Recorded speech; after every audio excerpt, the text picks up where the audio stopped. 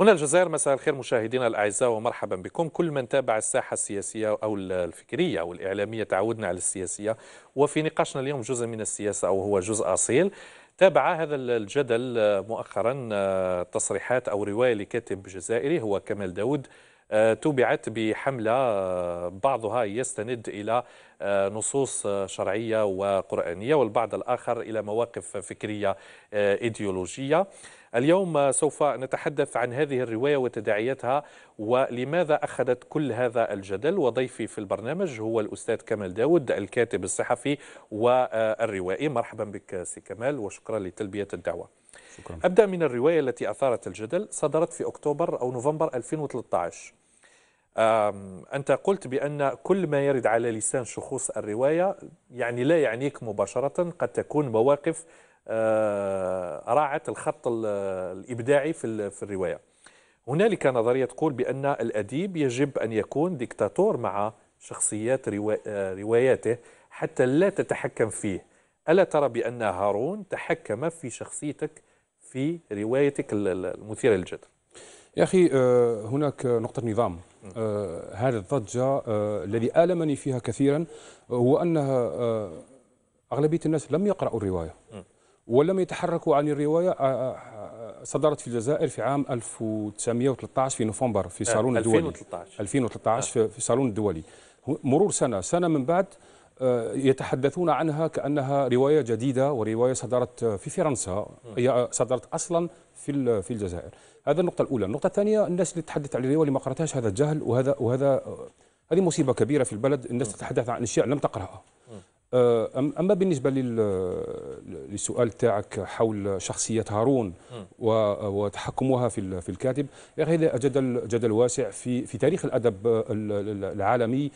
هناك كتاب يتحكمون في شخصياتهم هناك كتاب عندهم علاقة علاقة آه، حميمة مع شخص ككتاب عندهم علاقة خاصة مع شخصيات ومع الواقع الجزائري. لكن أنا أريد أن أرجع إلى إلى آخر نقطة نظام. ما فحوى رواية كمال داوود؟ مارسو التحقيق المضاد. الناس لا تفهم أنا أول جزائري اللي رديت على ألبير كامو. أنا أول جزائري اللي أعطيت اسم للمقتول العربي المقتول في رواية ألبير كامو.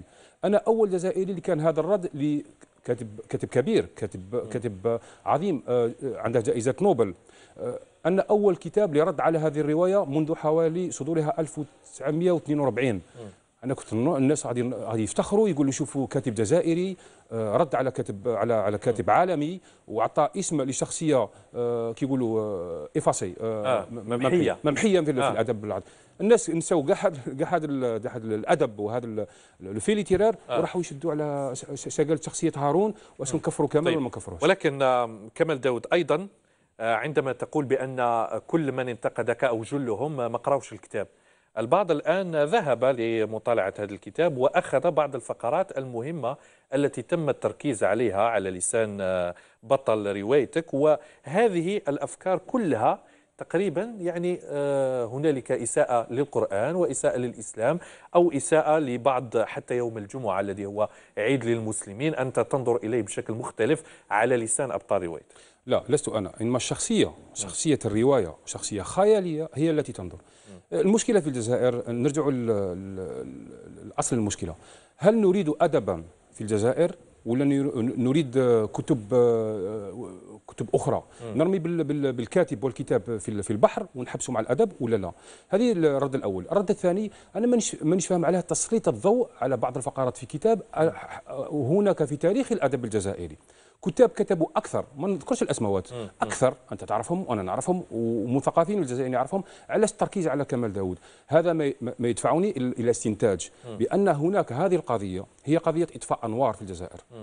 علاش؟ المشكل كمال داوود اللي كان يكتب منذ 20 سنة في عمود في عمود في, في, في يومية quotidien Quotidien d'Oran انتقد فيه السلطة الرشوة الإسلامويون الواقع الجزائري الإيكولوجي ال environnement هذه كاع المواضيع ما هدروش عليها هدروا حتى ال حتى ال حتى ال حتى طيب الآن. على ذكر السلطة ولكن البعض يقول بأنه حتى مبرر أن هذه شخوص الرواية لا تتحمل وزر أقوالها يقول البعض يعني أنا قادر غدوة نكتب رواية ونستعمل اسم كمال داود ونقول بأنه مثلا رجل فاسد غير متخلق أو كذا. ثم نهرب من المحاكمة القانونية والأخلاقية لا، بحجة أنه استعملت لا، لا. الخيال. لا لا. هذا آه. هذا كي يقول لك؟ تفكير ضعيف لأن كمال داود موجود. هارون ليس ليس بالموجود. هارون شخصية خيالية. كمال موجود كمال راه هنا راه قدامك. آه، لا تكون فيها البهتان والقذف هذيك حاجة أخرى. لكن هذه لا لا لا. أنا نقصد مش البطل الرواية. أقصد آه،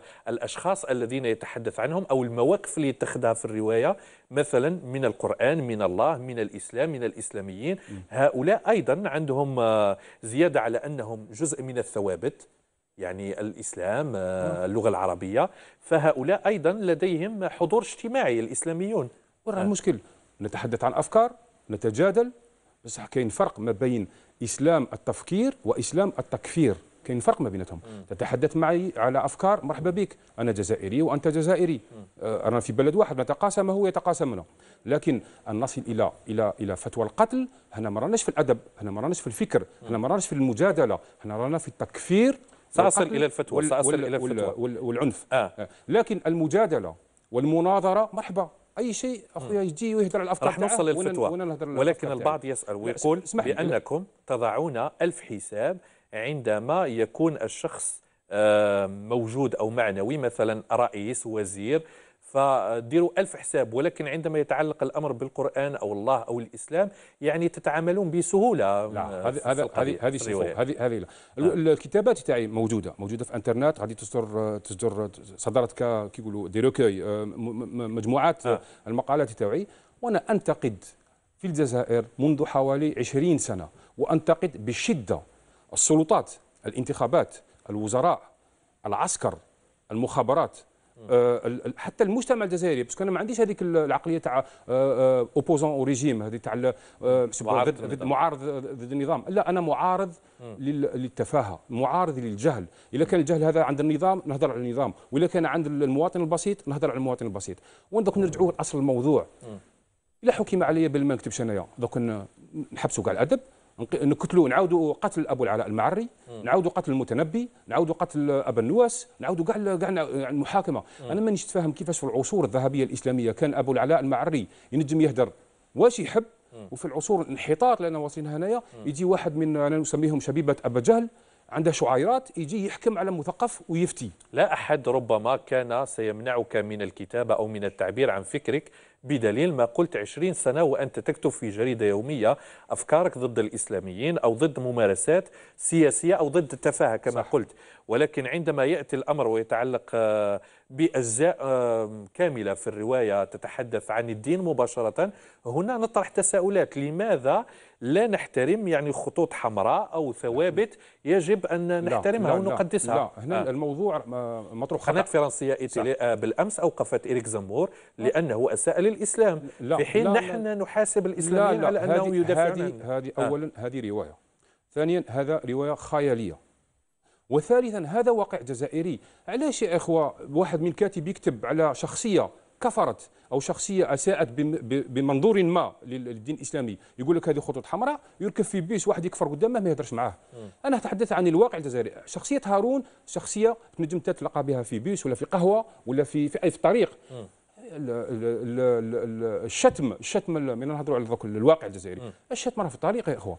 علاش parce que كمال داود مثقف يحقروه من يكتب هذه الحاجة؟ بصح واحد في بيس الشتم في الشارع وأنت مسؤول يقولون أنت مسؤول عن نقله إلى صفحات رواية من المفروض أن تقع في آه، أيدي ربما آه، أجيال شباب عائلات آه، من- مع- آه. ماذا بيا تتوقع في عائلات باش الناس تغير الواقع تاعها.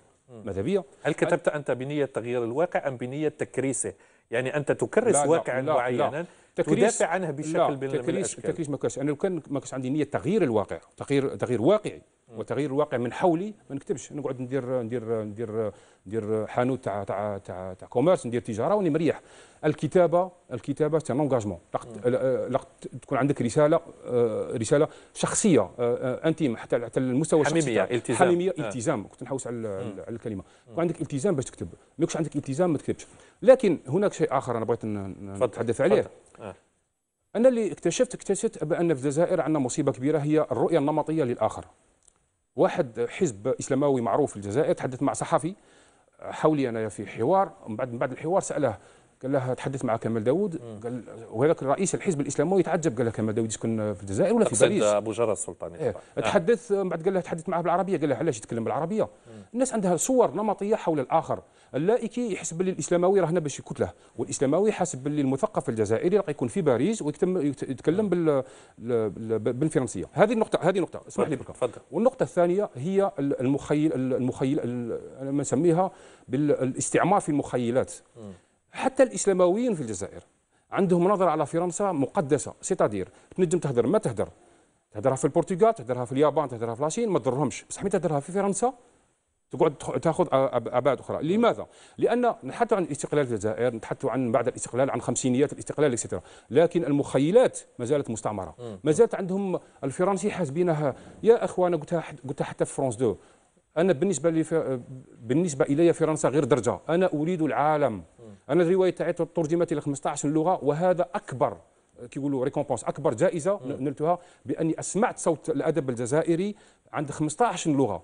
تعتقد بأن الاهتمام الفرنسي بكتابك أو روايتك الأخيرة أو بتجربة كمال داود الروائية تعتقد بأنه تحول آه، إلى مشكلة بالنسبة لك في الفترة الماضية؟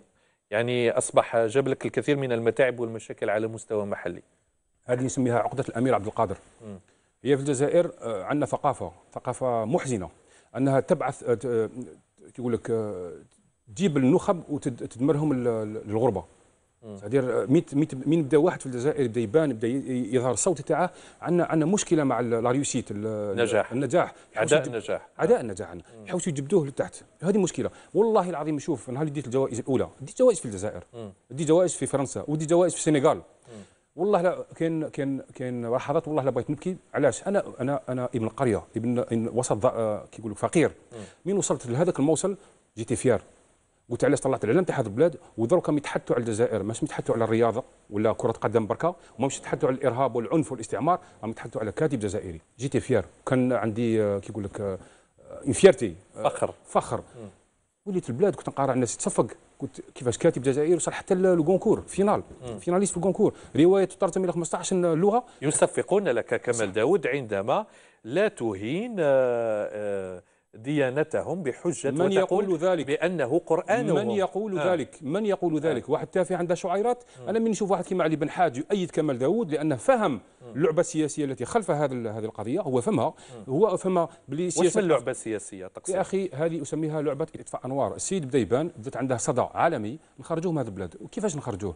لأن اغتيال المثقف في الجزائر اذا كان بكري كان الاغتيال بال- بالرصاص دوك اغتيال بيسميه بلطجية. شي يديروا؟ كما وقعت الجمل في مصر سم- في مصر في ثورة التحرير كان طلقوا عليهم الناس بالبلطجيه بال- بالجمال. أنا هذه نسميها واقعة الحمار. يرسلوا عليك واحد يفتي عليك باش أنت شدير دير كما بعض النخب الجزائرية تخاف على ولادك تخاف على روحك ترفد الفريزة وتروح وهنا يديروا كما كما يبغوا وأنا الرسالة تاعي الناس الناس اللي راهم وراء هذا البلطجي هذا آه. آه. كمال داوود والقرية الجزائرية يعيش في الجزائر ويقعد هنا في الجزائر من هم هؤلاء الناس؟ من تزعج مثلا أنت بكتابك؟ أزعج آه، السلطات الصاعدة التي آه، تستثمر فيما بعد بوتفليقة أزعج الناس اللي عندهم مصالح آه، في ce qu'on appelle le flou politique ال- غموض سياسي الغموض السياسي. أزعج الناس اللي نهضر عليهم